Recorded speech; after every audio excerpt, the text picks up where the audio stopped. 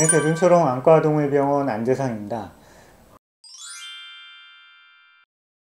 최근에 백내장 수술을 시켜주기 위해서 데리고 오시는 분들이 많이 계시다 보니까 백내장 수술비에 대해서 많이 비싸다고 느끼시는 분들이 많이 계세요. 사람 백내장 수술은 뭐 몇십만 원 안 하거든요. 근데 동물 백내장 수술은 그보다 몇 배 더 비싸다 보니까 왜 이렇게 동물병원 진료비가 비싸다고 느껴질 수밖에 없는지 예, 그거에 대해서 어, 속 시원하게 설명을 드리도록 하겠습니다. 음, 일단 뭐 백내장 수술뿐만 아니라 일단 기본적으로 동물병원 진료비가 사람 병원 진료비보다 기본적으로 비쌀 수밖에 없거든요. 왜 그러냐면 어, 사람 병원에 가면은 의료보험이 되죠. 그래서 본인 부담률이 보통 한 평균적으로 30% 정도밖에 안 돼요.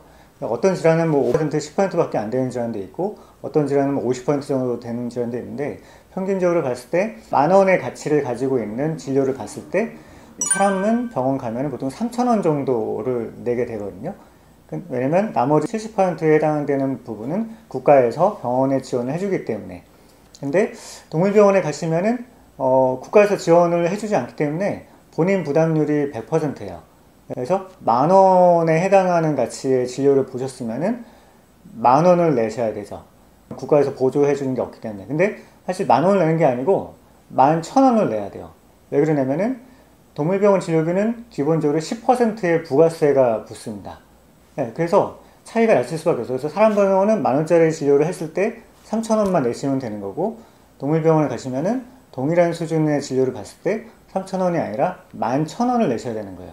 그래서 기본적으로 3, 4배 정도 비쌀 수밖에 없습니다. 근데 의료보험은 어디서 나오냐? 다 아시다시피 어, 우리가 급여를 받잖아요. 뭐 직장에서 급여를 받을 때 내가 100이라는 세전 100이라는 소득이 있을 때 100을 다 주는 게 아니죠. 거기에 세금을 떼고 줍니다. 떼이는 세금 중에 의료보험비가 포함이 되어 있어요. 그래서 사람은 병원에 한 번도 안 가도 매달 몇십만 원, 몇백만 원 병원비를 매달 내고 있는 거예요. 예, 그거를 모았다가 국가에서 이제 지원해 주는 거죠. 동물병원은 그런 게 없다.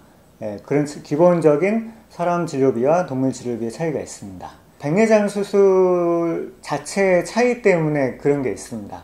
예, 사람 백내장 수술하고 동물 배장, 백내장 수술하고 꽤 많은 차이가 있거든요. 그래서 어떤 차이가 있냐면은 음, 일단 사람 백내장 수술은 전신 마취가 필요 없죠. 예, 눈만 국소 마취하고 하기 때문에 어, 좀 누워서 뭐 수술 끝나고 그냥 바로 퇴원해요. 근데 동물들은 백내장 수술을 하기 위해서는 전신 마취를 꼭 해야 됩니다. 왜냐하면 눈을 자꾸 움직이기 때문에 미세한 수술을 하는데 눈을 움직여버리면 수술을 절대로 할 수가 없습니다. 전신 마취를 하려면은 혈액 검사나 엑스레이를 해야 되죠.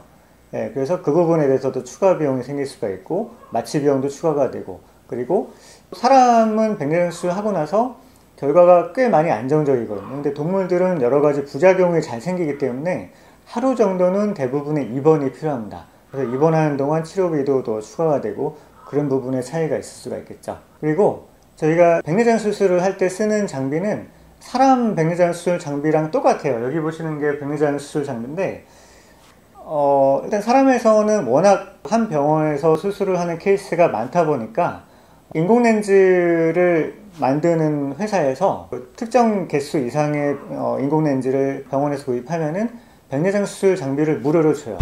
예, 수술 장비가 뭐 종류에 따라서 몇 천만 원에서 뭐 1억이 넘는 장비거든요. 근데 동물병원에서는 사실 케이스 수가 사람처럼 많지가 않죠. 예, 그렇다 보니까 인공렌즈를 제작하는 업체에서 뭐 사실 1년에 팔아봤자 몇 개 안 돼요. 우리나라 전체를 따져봐도 사람에 비해서 소비를 못하다 보니까 어, 백내장 수술 장비를 저희가 직접 사야 돼요. 케이스 수에 대해서도 말씀을 잠깐 드렸었는데 제일 많이 수술을 하는 병원 기준으로 사람에서는 뭐 5천 케이스 이상 1년에 굉장히 많이 하죠. 병원 하나당. 예, 뭐 대형 병원 경우에는 정말 수술을 1년에 굉장히 많이 합니다. 근데 동물병원은 제일 많이 하는 병원 기준으로 한 병원당 1년에 뭐 100케이스, 200케이스밖에 안 돼요. 그러다 보니까 차이가 날 수밖에 없는 거죠. 그 공산품도 대량 생산과 대량 소비가 일어나면은 가격이 떨어지잖아요. 사람과 동물병원은 백내장 수술을 하는 케이스 수가 비교도 안 되게 차이가 나기 때문에 한 케이스당 수술 비용이 비쌀 수밖에 없습니다. 그리고 인공렌즈 가격도 차이가 나거든요. 인공렌즈 가격도 사람에 비해서 동물 전용 인공렌즈 비용은 4배 정도 비싸요. 이것도 마찬가지로 어, 규모의 경제에 따른 대량 생산이 되느냐 그렇지 않느냐 그런 차이가 있을 수가 있겠죠. 그리고 수술 과정 자체도 조금 차이가 있는데 사람은 수정체가 백내장이 생겨도 굉장히 딱딱한 경우는 그렇게 많지는 않습니다. 그래서 수술 들어가서 끝날 때까지 한 10분에서 15분이면 끝나요. 네, 근데 동물들은 기본적으로 백내장이 생기게 되면은 수정체가 굉장히 딱딱해져요. 네, 딱딱해지면은 이 수술하는데 시간이 많이 걸리죠. 또 수정체 크기가 어, 사람에 비해서 강아지, 고양이의 수정체는 굉장히 커요. 부피가 한 두세 배 정도 돼요. 네, 크기가 크다 보니까 수술하는데 시간이 많이 걸리죠. 네, 그래서 사람에서는 병원, 한 병원에서 의사 한 명이 하루에 수술을 할 수 있는 환자 수가 10에서 20명 정도 되거든요. 근데 저희 병원 같은 경우에는 굉장히 많이 해봤자 한 두 마리 정도 밖에 못해요. 뭐 마취하고 마취 깨우고 전신 마취하고 수술 시간도 좀 오래 걸리고 이런 거다 보니까 이런 차이가 있다고 보시면 됩니다.